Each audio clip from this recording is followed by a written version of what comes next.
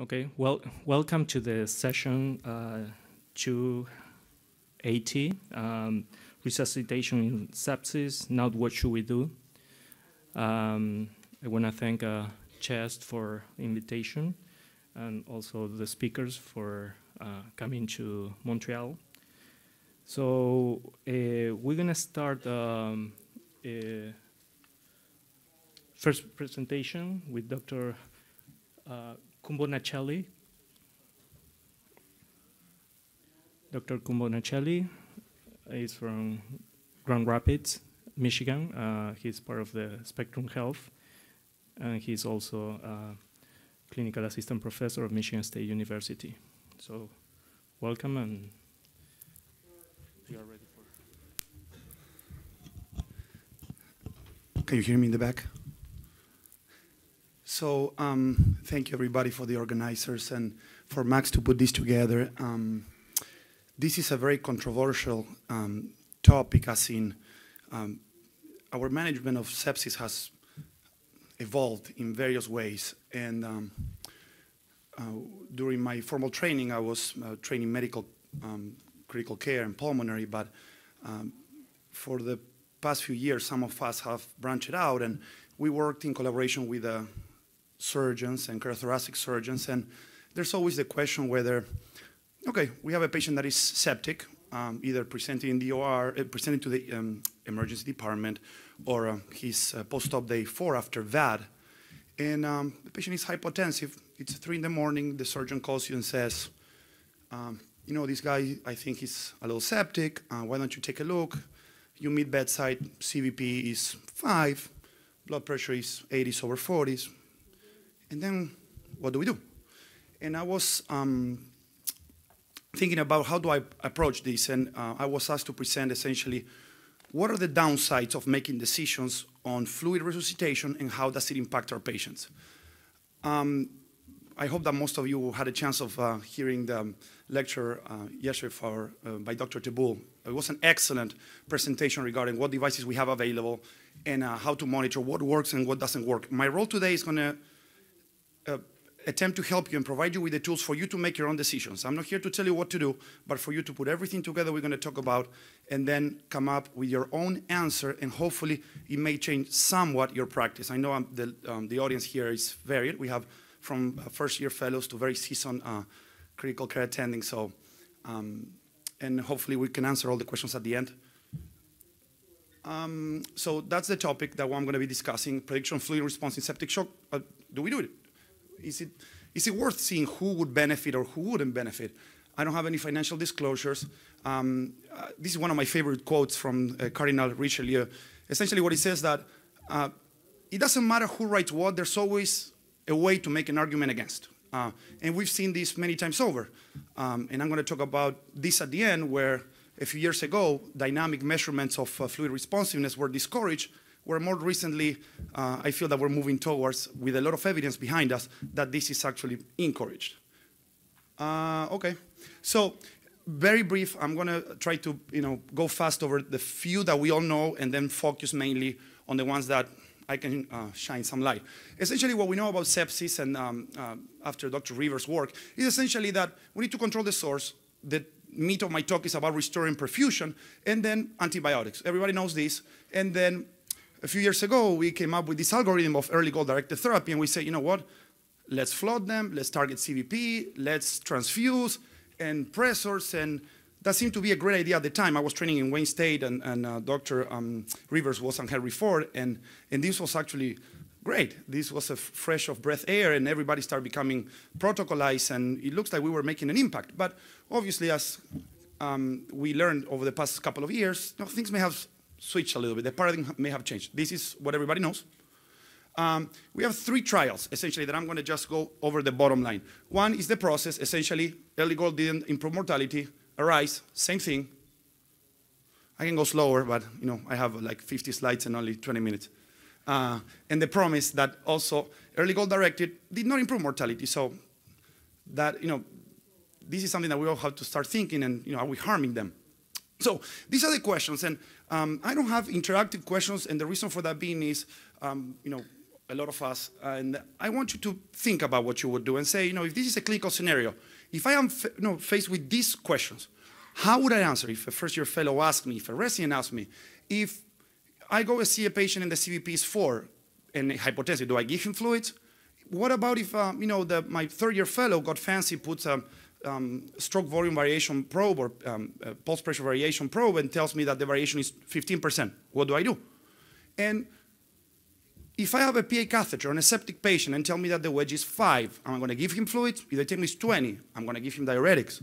And okay, so you know it's five in the morning. We have a code, and the resident tells me that the patient is a little hypotensive, and you know, can I give him 500 of, uh, you know, not albumin, but maybe Ringer's? And uh, what do we say? Yes, no, get him through the morning. But what is it that we're trying to achieve with fluids? And uh, last but not least, we all have protocols uh, regarding sepsis and fluid resuscitation, but can we think about this more as a dynamic process, as in phases? And um, the second thing that, the second part of the talk, essentially what I want to talk about is, is there any way for us to assess the biventricular preload responsiveness in order to know where in the Starling curve are we? Are we in a failing heart?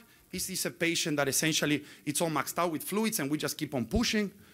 How, what tools do we have to say, okay, this guy or this patient, we, we may not be able to provide him with more fluids and help him. And then the last question that I want you to answer at the end of the talk, or maybe start getting some more info to be able to answer, what, what's the difference between assessing the preload and assessing um, preload responsiveness? Here we go. So, uh, following, I, am not going to go over what Dr. Teboul has said yesterday, but I'm going to give you just a brief uh, overview and then uh, go to the literature behind what I'm going to try to uh, share with you. So essentially, I have a patient that is septic is the patient, is the patient stable or unstable? Is the patient going to be fluid responsive or fluid unresponsive? And what are the risks of me providing somebody with fluids? Those are the three questions that you have to address in order to be able to provide the best and safest treatment as opposed to push fluids. So essentially, and again, I, I don't want to overlap what we was discussed already yesterday, but essentially, I want I invite you to go over essentially uh, the Starling curves and know that the only way that you are going to be able to improve perfusion on somebody is essentially by improving the stroke volume. It's not the pressure. You're not after improving the pressure. That is a consequence of. So essentially, it's not that we all have a lot of time to start building Starling curves at 3 in the morning, but essentially start thinking, you know, for how long have I been doing this? How much fluid has somebody had? Do we have an echo? Do we know ejection fraction? Do we know if there's anything else going on? Is this secondary to what? So, and uh, here my two colleagues are going to expand on this. Uh, but essentially, remember that it is not the same to provide fluids to a patient depending on where in the Starling curve they're going to be. Uh, and essentially, this is the, the, the, old gestalt, you know, don't give a lot of fluid to a CHF. It's not that we're going to put you in failure. It doesn't change your um, uh, stroke volume. You cannot vary stroke volume in a heart that cannot squeeze. So um, this is essentially to get my uh, presentation kick-started they did uh, one of the um, outcomes that I find really interesting of the FENI study was that essentially whenever we have patients um, uh, that got around half a liter to a liter and uh, 2,200 plus patients, how are clinicians making decisions? And you can see that essentially whenever the clinicians were saying how they were making decisions or the, what was the safety profile or what information were they making, 36% were still using CVP. And it's already established that it's not really a very good predictor of, of, of fluid responsiveness um, among selected patients. We're talking about the septic population. Uh, dynamic, really one out of five, and this is what is encouraged. Uh, and there's not a whole lot of documentation about end, on, end of organ perfusion. So go take a look at the patient, see the skin, check your lactates. All of those things are basic that at some point in time I feel that this fell through the cracks and we were not able to see that being done all across the board. And the conclusions of, uh, of the study was that we do not, we do not routinely follow how are we providing the treatment. We don't use the safety limits, and I'm going to show you what, what those were. And when they failed a fluid challenge, that information was not really used. It sounds like at some point in time, you know, we keep on pushing fluid. So um, remember, we want to improve the cardiac output and not to include, uh, increase the um, blood pressure. And this is essentially one of the tables that, even though it's very busy, I want you to know, and if you want to uh, pay attention to the uh, lower end, uh, CVP, no, um, 329 um, uh, patients were, or, or, were used in order to make decisions, uh, occlusion pressure, 39, and all of those, and if you were to take a look, very few patients had decision being made based on stroke volume variation and pulse pressure variations. Uh, very briefly, I think of sepsis as a dynamic. It's, it's in phases. You cannot attack the same problem from everywhere depending where you are. So essentially, one in five patients don't get appropriate fluid therapy, and you have to tailor the treatment to each patient individually. And you have to think of fluid as a drug. This is not just 250 and see what happens. It's, it has to be thought as a drug therapy. And you have three stages, essentially, which I'm going to add a fourth, but essentially, there's an initial stage of resuscitation. This is the first couple of hours. There's not a whole lot of point of being smart. Just flood them. Three liters, four liters, 30 milliliters per kg. And then it's time to start slowing down and say, where am I, what I want to achieve, and then maybe I want to start titrating and de-escalate, as we do with everything else. Um, so this is a very nice paper that I invite you to take a look. Essentially what they talked about is the rescue phase, ER, or all of us that you know, do a little bit of, um, you know, we help the emergency department to make decisions. And uh, I invite you to go over this, but essentially think of sepsis as a dynamic. Don't treat, don't, don't, as, don't address a patient as if you were rescuing him at four days in the hospital.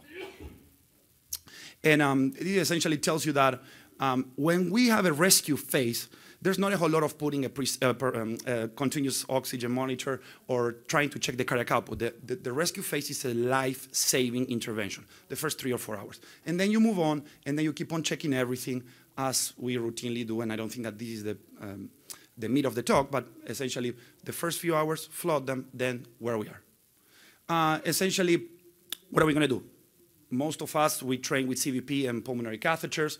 Um, very few of us do TTEs. I have the privilege of working in cardiothoracic ICU with ECMO, VADs, and um, I got to learn a little bit about echo, and, and, and that's, a, that's a tool that in the right setting we can uh, put to good use. Continuous oxygen saturations, and, and then uh, echocardiographic measurements of SVC, IVC, and aortic peak velocities, um, and you can see the other three, uh, Passive raise, SVV, SPP. And word to the wise, let's not use the CVP MPA as a single measurement. There's evidence behind it. You can read. My talk is going to be made available. Uh, there are reasons for this for you that are taking pictures, but all in all, um, it has not been proven that CVP or the PA catheter make, helps you make decisions on fluid strategy any better than a coin flip. And this is not taking into account the mortality of the procedures. Um, TTE, those that have a echocardiography, it's a good tool. I'm going to show you how so. But essentially, as a single, as a single measurement, it may not be the best to make decisions and uh, it may have some type of role in patients with cor pulmonale. Um, very briefly, uh, I am asked uh, frequently by uh, residents, you know, what are these dynamic measurements? What does it mean? Well, essentially what it is in a nutshell for those that uh, are less seasoned is um, essentially mechanical ventilation, positive pressure, the chain of events that happen, and how does it impact, impact ultimately on your systolic blood pressure and your pulse pressure. You can take a look, you can read, and in any paper in the past couple of years, you will find this slide. So, um, so what do we do? Essentially, we can we have tools available for us to be able to measure these changes regarding positive pressure or mechanical ventilation cycles in order to know if there's a change in the parameters that we are discussing, and ultimately, if by following those we can impact mortality. Um, there's some limitations doing this. Obviously, each um, um, each device or, or, or, any of the apparatus that is available um, have some limitations, essentially what was it studied. So 8 mils per kg, or patients that have AFib, or patients that don't have an A-line, all of those, um, they may be shortcomings of using each of the um, devices that are available, but think about this and start exploring if you don't have it currently in your institution. All right, uh, IVC, there's a role and there's a technique for us to be able to take a look and see the diameter of the inferior vena cava and how does it change with the cycle, and the number the, the, there's some things that are essentially cutoffs. What is the number that I have to see variation for me to say this is a patient that most likely is going to respond to a fluid challenge? So I'm going to say that again. What is the cutoff number that I'm going to have to see in each of the techniques, IVC, pulse pressure variation, stroke volume variation, for me to think this is somebody that most likely will be a fluid responder? And the number is always in the teens, and it depends on the on the technique. The, the, the paper that I evaluated was Righetti in 2014. Essentially, he saw that an 18% change correlated with 15% uh, change on cardiac index, which is essentially what we talked about. We talked about how do we come up with a strategy on fluid resuscitation or, or fluid challenges in order to improve the stroke volume, ultimately cardiac output, and not so much the blood pressure.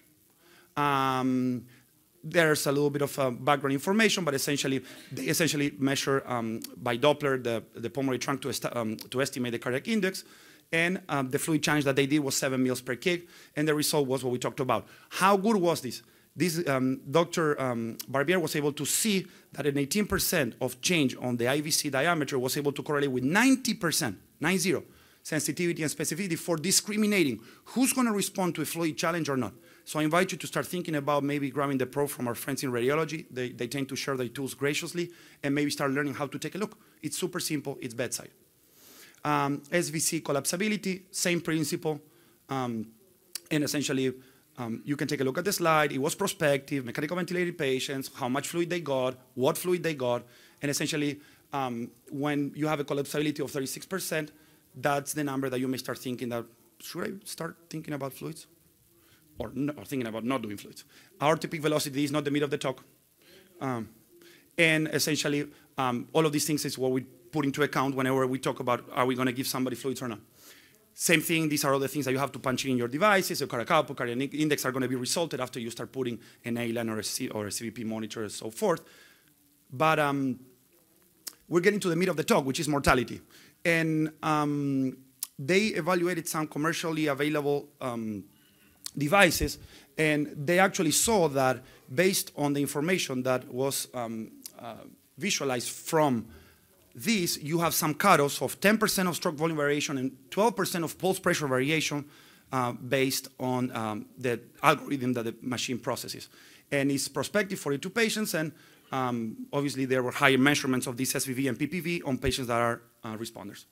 Passive leg raise, if you don't have a patient intubated, uh, you can always do this. It's essentially as giving 300 cc bolus. And a 10% cutoff is essentially if you change your blood pressure by 10%, that is likely that whenever you give them 250 or 300 cc's, most likely that's going to affect uh, ultimately what you're trying to do is restore perfusion and improve output. Um, the four phases that we talked about, essentially think about this to move away from protocol saying keep on doing this until it works, more so am I rescuing, I'm optimizing, or I'm essentially, where am I? Am I first day, first hour, or, or four hours? So, mortality, let's talk about it. Any time that you start getting to around the three day mark is a time that mortality starts creeping up. I'm not saying don't give fluids. I'm saying that at three days, if you have a more positive fluid balance, that correlates more with mortality. And that was adjusted for severity score of the disease. These are not patients that got more fluid because they were sicker. They were equally sicker, but got more fluid. And whenever somebody has a little bit of acute kidney injury, they didn't show, um, um, this was Dr. Uh, Vilaca in 2014, he didn't show that putting fluids will prevent development of acute kidney injury. So urine output coming down a little bit, can we do half a liter? Uh, that question probably has to be answered by you guys. Um, again, another 173% with sepsis. Um, they got 11 liters over three days. And essentially, they had the same output, but the non-survivors received more fluid and more survivors, uh, sorry, non-survivors received more fluids, but more survivors had a negative balance at day four. I will let a little bit of this sinking. Um, when I was a fellow, you know, a lot of statistics, and, and, what I came up with is if I can put my finger between the two survivor curves, probably is a good study, and I'm pretty sure that I can in this one. So uh, you can see that essentially as, as days go by, when, you know, whenever you have the fluid balance that is more positive, you know, people start getting in trouble. Same thing. Uh, fluid balance septic shock, 42 patients. They were septic patients with bacteremia, some of them, prospective observational. And essentially they see that in, uh, higher accumulated uh, balance is correlated with positive fluid balance. So, sorry, with adverse, adverse outcomes. So that was in 2015. Same thing, this, this, is essentially a graphic way to show that uh, blue is at 24 hours, green is at 48, uh, yellow is at uh, three days and then four days. To the left, you have the survivors. To the right, and you can see that the more fluids they get is uh, more likely for them to you know, have an increased mortality. I'm starting to wrap up. Um, different papers, still I can get my finger in between the lines. So I think that we are getting the idea of this. I'm almost wrapped up here. Um, and the one paper that I found very interesting, okay, so I have a patient that just came through the ER. I'm at uh, the second um, hour after they go to my um, ICU. When is the time that is best to give fluids? And I think I already hinted you on this. But essentially what they did is they took a look on the microvascular perfusion and they took a look at the plexuses under the tongue. And what they saw is that at 24 hours, they saw that by giving fluid, you can improve only early in the course. So at 24 hours, there was a response in the capillary um, system, but at two days, more fluids didn't necessarily restore perfusion. Uh, almost done.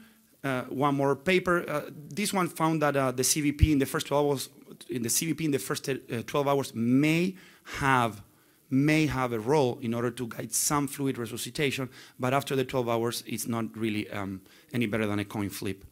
And um, almost done. This is an acute injury, acute kidney, uh, lung injury, sorry, and non-survivors obviously got my fluid, and this is a number of reasons for that, and we've all seen that. And um, uh, Dr. Murphy in Chest 2009 essentially proved um, or, or, published this. Negative balance probably, or even balance probably uh, improves mortality. Uh, very, very few, just, just to talk a second about other populations. They did some uh, cath and some echo on healthy subjects in 2004. No relationship between uh, really pulmonary pressure uh, with the CVP and then diastolic volume pressure. So uh, they didn't see that. Uh, two more papers. Uh, coin flip between CVP of 8 and pulmonary arterial occlusion pressure of less than 12. So coin flip, that's how well those predict. Last, among our cardiothoracic patients, um, there's really more role of checking stroke volume variations and not so much CVP and pulmonary occlusion pressures. Um, last slide. This is essentially a meta-analysis. Everything we talked about, static indices of um, preload are not good. They cannot predict. And dynamic ones, essentially pulse pressure variation, uh, changing aortic uh, uh, velocity, flow, and um, essentially dynamic changes with mechanical ventilation will help you not harm patients. So I would strongly suggest for you to start taking a look what you have available and maybe start putting this to good use. And um, these are the questions. Hopefully you have some of the answers. Um, and I would like to appreciate uh, the opportunity to talk and we'll take any questions at the end of the lecture. Thank you very much.